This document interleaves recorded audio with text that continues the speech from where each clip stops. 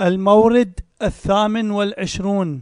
صلاح الدين يحرر بيت المقدس بعدما يقارب المئة عام من احتلاله وانتهاكه من قبل الفرنج عام عام 491 هجري. وتم فتح القدس وتحرير وتحريره في عام 583 هجري. فجزاه الله خيرا على ما فعل. ففي الكامل الجزء العاشر في صفحة 32 ثم دخلت سنة 83 و500 583 قال ابن الأثير. ذكر فتح عسقلان وما يجاورها لما ملك صلاح الدين بيروت والجبيل وغيرهما.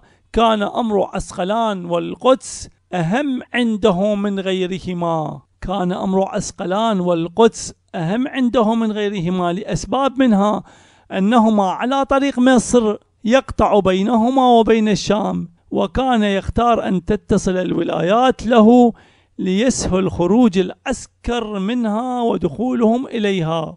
ولما في فتح القدس من الذكر الجميل والصيت العظيم إلى غير ذلك من الأغراض فسار عن بيروت نحو عسقلان واجتمع بأخيه العادل ومن معه من عساكر مصر ونازلوها يوم الأحد السادس عشر جماد الآخرة وكانت مدة الحصار أربعة عشر يوما. التفت جيدا. يعني ابن الأثير عنده شيء عنده أشياء لكنه لم يبين. يوجد محتملات أخرى يوجد أغراض أخرى لكنه أشار إليها إشارة. يعني ماذا يريد غير هذا؟ يقول القدس وعسقلان تقطع الطريق بين الشام ومصر فهذا غرض للغزو وللتحرير وأيضا قال في القدس ذكر جميل وصيت عظيم أيضا هذا غرض بذاته يدفع لتحرير القدس. إذا ماذا عنده بعد هذا؟ يقول إلى غير ذلك من الأغراض وهذا الله العالم به. يكمل. يقول فسار عن بيروت نحو عسقلان واجتمع بأخيه العادل ومن معه من عساكر مصر ونازلوها يوم الأحد سادس عشر جماد الآخرة وكانت مدة الحصار أربعة عشر يوما. إلى أن يقول ذكر فتح البيت المقدس. لما فرغ صلاح الدين من أمر عسقلان وما يجاورها من البلاد على ما تقدم وكان قد أرسل إلى مصر أخرج الأسطول الذي بها في جمع من المقاتلة.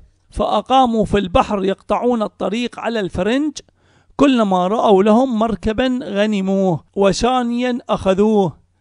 فحين وصل الأسطول وخلى سره من تلك الناحية سار عن عسقلان إلى البيت المقدس وكان به أي ببيت المقدس البطرك المعظم عندهم وهو أعظم شأنا من ملكهم وبه أيضا باليان ابن بيرزان صاحب الرملة وكانت مرتبته عندهم تقارب مرتبة الملك وساروا حتى نزلوا على القدس منتصف رجب.